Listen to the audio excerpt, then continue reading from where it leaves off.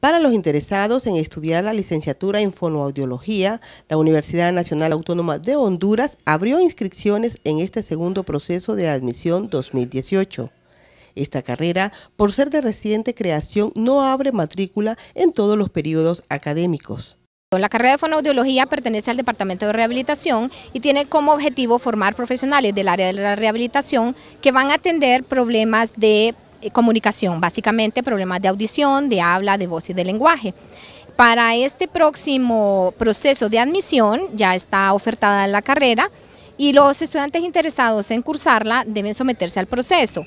Eso significa cubrir con requisitos, dos requisitos básicos. El primero, obtener 900 puntos en la prueba de aptitud académica y el segundo, eh, aprobar el proceso de entrevista que se realiza en el Departamento de Rehabilitación, específicamente en la coordinación de la carrera. Los interesados en estudiar la licenciatura en fonoaudiología deben realizar la prueba de actitud académica que se aplicará el próximo 1 de julio y matricularse en el primer periodo del 2019.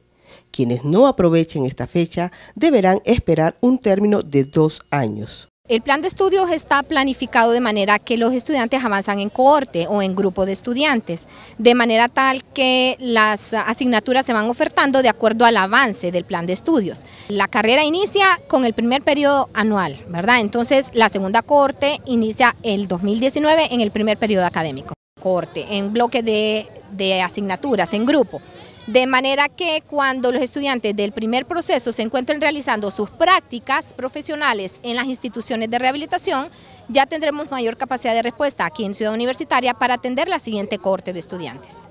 El plan de estudio de la carrera de fonoaudiología está para desarrollarse en un término de cuatro años y actualmente su primera promoción la cursan 34 estudiantes. Nelly Flores, UTV.